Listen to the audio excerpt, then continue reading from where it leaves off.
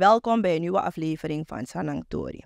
In deze aflevering praten we met de heer Waldi Nijn, voorzitter van de Partij voor Democratie en Ontwikkeling.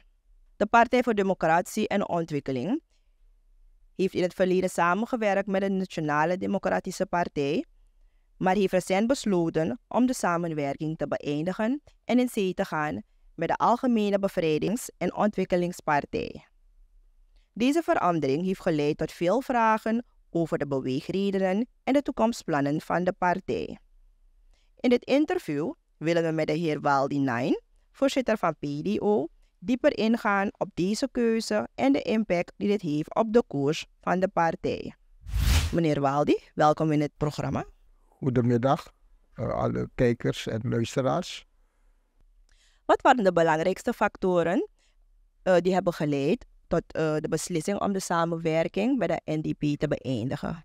we hebben een andere keuze gedaan en niet de persoon wel die daarin heeft dat besloten, maar de structuren en het totale bestuur hebben het besluit genomen om dat dan niet meer te werken, samen te werken met de NDP, maar richting de ABO. Maar dat wil niet zeggen dat we ruzie hebben gehad met de NDP. Nee, ik als politicus heb ik genoeg ervaring. Ik zit zo'n 50 jaar lang in de politiek, vanaf 1973. Dus ik weet hoe het allemaal regelt en binnen de politieke partijen. Dus we hebben helemaal geen ruzie met de NDP.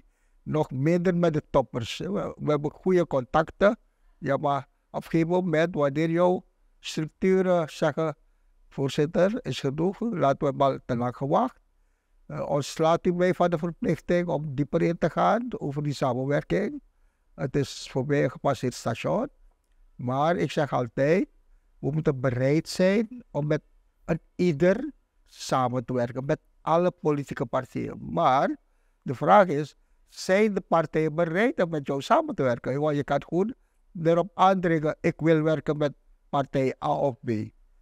Maar het kan zo zijn dat ze jou niet lusten. Snap je? Dus, uh, ik moet toegeven, de, de PDO is, een, is geen grote partij. Is een normale, kleine partij. Maar we hebben potentie. We groeien. En dat hebben we gemerkt de laatste twee weken. Ben ik constant opgebeld door mensen. Mensen komen hier en vragen, kunnen we aansluiten? Dus ik ben elke avond thuis bij mensen. We zijn elke avond bezig om infocentrum te openen. We hebben al in die keer zo'n, uh, onze streven is zo'n 20 infocentrum in die te openen. En de rest van de uh, overheidscentra hebben we gepland zo'n 40 centra te openen. We zijn al dicht bij de 30 al, dus het moet nog een 10 stuks openen. Dan zijn we al goed voor, uh, als we die keer bij tellen, met van ons al 50 infocentra landelijk. En dan hebben we nog zo'n 10 tot 15 nog je moeten openen. Dus het enige is, de PDO is niet een partij die luidruchtig is. Hoe met Barbari? We werken silent. We houden niet onder osso. Daardoor bereik je meer mensen. Communicatie is erg belangrijk met jouw achterban. En met mensen die zich willen aansluiten. Je moet ze overtuigen waarvoor je gaat. En je moet ze kunnen over. Want nu is het zo moeilijk. De mensen zijn zo diep teleurgesteld in politieke partijen. Dat eigenlijk soms ontmoet je het groep die gewoon zeggen: nee, we willen niet meedoen, we moeten niet met de politie. Maar dat, dat, dat, dat je ze hebt uitgelegd waarvoor we gaan. En dan tonen ze begrip. En, en persoon van rekening zeggen ze: voorzitter, laat je te voor achter, we gaan nu bellen. En dat is nu het gevolg van onze silent opereren op het veld. Dat ik nu elke avond, ik ben niet thuis. Ik ben elke avond op straat, in, in de verschillende districten. Op te praten, op te mobiliseren. Want in de politiek is erg belangrijk. De factor mobilisatie. De factor communicatie.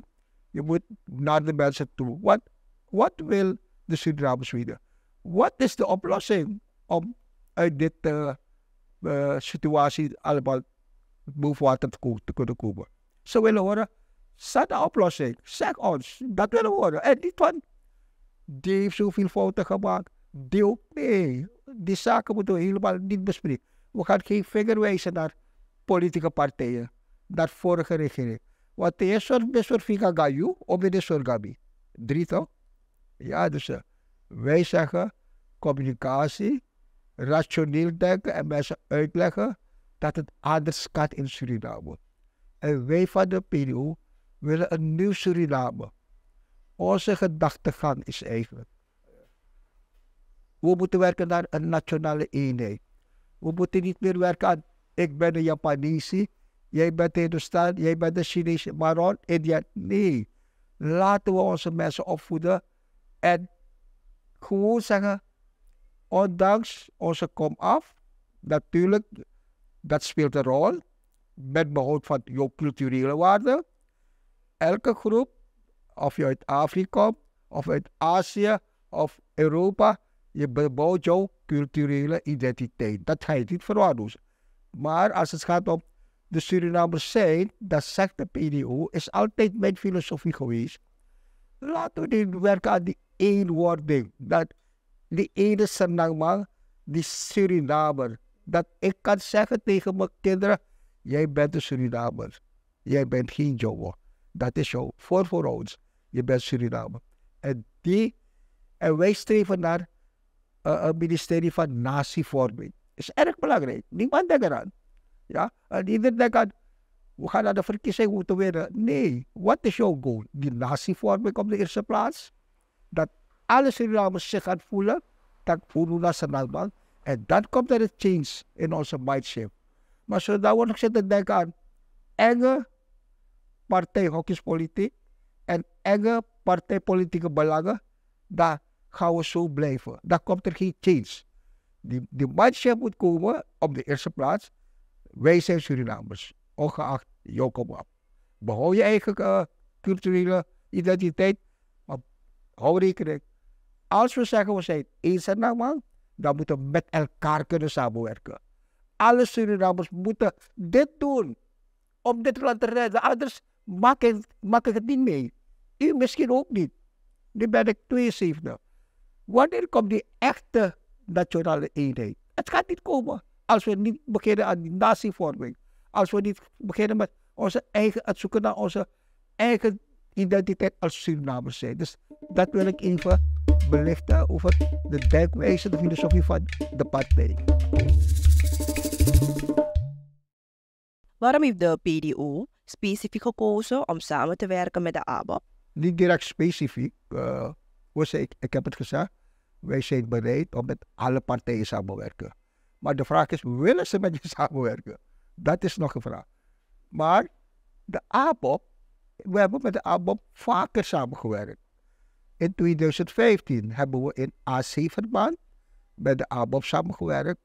En daarin zaten toen de, de KTPI van Weilen, uh, meneer Subita, mijn persoon, de PDO en de heer Ronnie Brunswijk. Dus wij drieën hadden toen in 2015 al samengewerkt onder de, onder de naam AC-combinatie. En bij die verkiezing hebben we uh, eh, 27.350 stemmen behaald landelijk. En dat was goed voor vijf zetels. We hebben toen onderhandeld met de NDP om te participeren in de regering. Maar ik ken die situatie toen. De ABOP en de partijen zaten ook in die regering in 2015. Ja toch? Dus ze zijn eerder misschien eruit geknikkerd of noem maar op. Dus na die verkiezing van 2015 we, hebben we ook besloten om ook te praten met de NDP onder leiding van de voormalige voorzitter van de NDP, meneer Daisy Bouterse. En uh, die samenwerking is niet doorgegaan op grond van, want ik zat al zaken, begrijpelijk. Ik heb me niet meer daar bezig gehouden. En daarna zijn we beland in de oppositie. Ik heb mijn werk normaal gedaan weet je, uh, niet meer als politicus, want het verkiezing voor mij. En bij de laatste gehouden verkiezingen in 2020 hebben we ook eigenlijk samengewerkt met ABOP. In die eenheidsbeweging had je in Suriname uh, de KTPI, toen onder leiding van meneer Iwan Ganga. Ja toch, want de Sumita heeft iets overgedragen, de partij de KTP, aan de Gaga. Dus de Gaga had de toen, uh, in 2020, en mijn persoon en de partij. En we gingen onder de vlag van Partjaya de verkiezing in. Begrijp je wat? Je mag niet samenwerken. Het is verboden bij wet. Dus je zal zeker jou, jou uh, moeten opereren onder een vlag. Ja toch? En dat is gebeurd. We hebben geopereerd onder de Partij Loer van meneer Somoadio. En er is een lijstverbindenis ontstaan, uh, getekend met de ABOP, zodat de kandidaten ook op de lijst en omgekeerd ook. Dus in feite hebben we al met de ABOP twee verkiezingen samengewerkt. Real in 2015 en 2020 via uh, die, die. U kent de resultaten van die verkiezingen. Eén zetel. En desondanks heeft de heer Brunswijk toch, uh, toch aan zijn woord gehouden door de partij, de Partij. Want wij zijn, ik ga je zeggen, bij die verkiezing zijn we niet eens gekend. Na de verkiezing is meneer Somoarjo op solo tour gegaan. Hij heeft de KTP aan de kant gezet, Nieuw Suriname en de PDO. Dus, dus wij drie hebben regelmatig contact. Snap je? En en toen hadden we besloten om een convenant te tekenen. Het hele verhaal is al voorbij met de NDP. En er zijn zaken, we gaan niet erover praten. En uh, bij de vorige bespreking was de PDO niet bij. Uh, ik had zelf besloten om alleen de verkiezing in te gaan.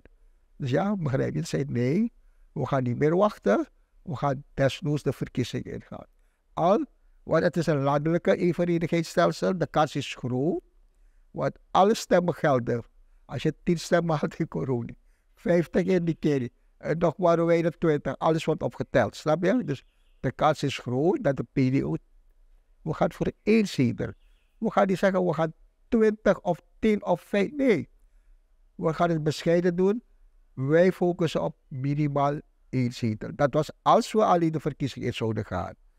Maar nadat we ons hebben aangesloten, door die contacten met de heer Brunswijk uh, hem persoon, zien we die groei. De partij is zo sterk groeiende. Ik, ik word elke dag gebeld. Eh, soms kan ik niet slapen. Ik meestal rust ik tussen 1 en half 3. Is het mijn rustperiode. Kijk, als je ouder wordt, heb je die biologische ritme, heb je rust nodig. Anders krijg je een soort katereffect, dan ben je helemaal op. Dus ik, en juist bij die periode word je vaker gebeld door een heleboel mensen, maar goed, je kan ze niet kwalijk nemen. Dus uh, we zijn toen niet gaan samenwerken met de ABOP op grond van dat we meneer Brunswijk kennen. Hij is iemand die zegt een man een man, een woord een woord. Dat is zijn karakter. En ik heb het ervaren in 2015 uh, live, weet ik. En, en hij, zijn ideologie komt bijna overeen. Want wij zeiden, als je kijkt, Partij voor Democratie Ontwikkeling, maar wij gaan meer voor sociaal, het socialisme, sociaal-democratisch. Alle mensen moeten de gelijke recht hebben. Niemand mag pinaren. If je young, niet moest young. If je drie, moest niet. En zo kunnen we verder gaan. Dus we zien daar in feite raakvlakken.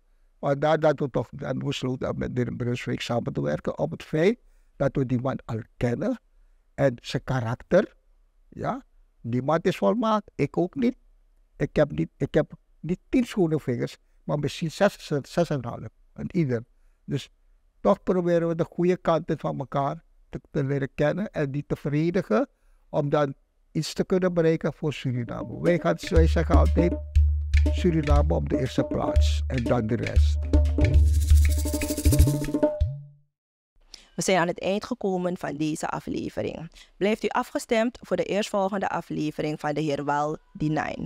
Heeft u een onderwerp te belichten, dan kunt u ons gerust een WhatsApp bericht sturen op het nummer 8485816. En vergeet niet onze socials te volgen. Stranantori, snel, scherp, altijd bij de tijd.